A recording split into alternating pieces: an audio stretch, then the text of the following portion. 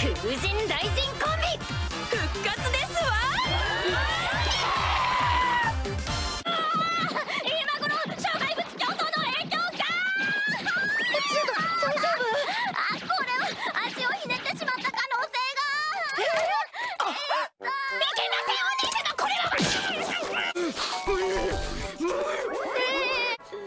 カッチコチだな。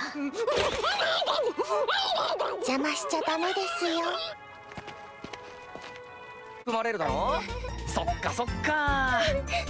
あれ美坂さん？今のツッコミどころ。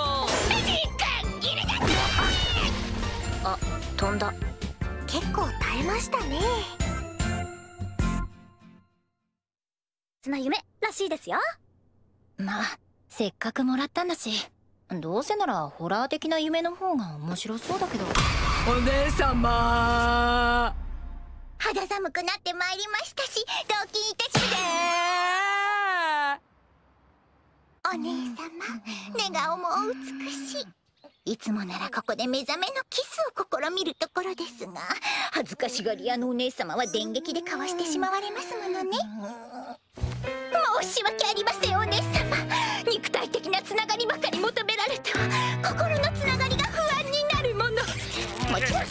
ことはありようもないのですがお姉様を心配させるとは黒子一生の不覚です。が愛が真実のものであると証明するため身も心も全てお姉様に捧げますね。いらんわ睡眠をとって逆に疲れたのは初めてだわ。おはよう。どうしたんです白井さん？あそう。あ朝からずっとそんな感じなのよぶり知ってます？え？事件。事故。いずれにせよ必ず止めてみせますの。今の人たちじゃなかったみたいですね。何にも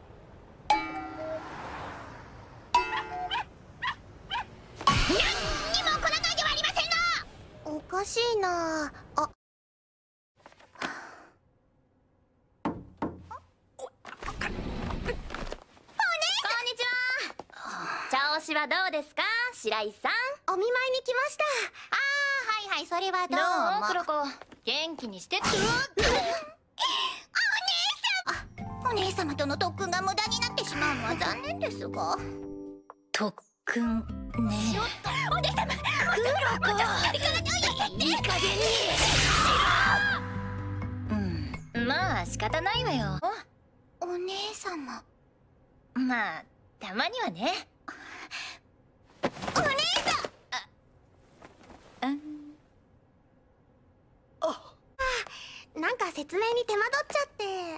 あれ？あのお姉様そのこれは。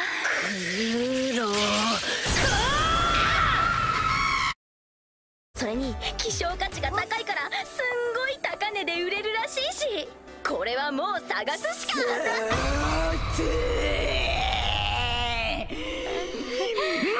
たそのような噂を真に受けて。好奇心旺盛なのもいいです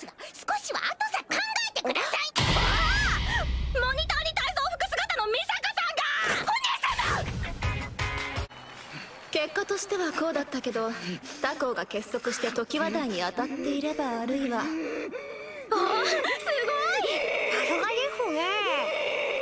気がさえなければ隣に立っていたのは私のはずでしたねああここは滅かかぶったお姉様が見えませんわよようやく退院しましたのにまたしばらくお姉様のい。ない夜を過ごさねばならない。と思うとは寂しい夜を耐え忍びますわ。その代わり大破制裁が終わった暁には熱い熱い息を。何言ってんの？まあごめん。あそうだ黒子。何か今食べたいものある？たまにはおごるわよ。追い春さんたちにも何か買っていこっか。軽くつまめるものを。黒子はお姉様からいただけるのならどんなもし何でもとおっしゃるなら黒子はお姉様のためか。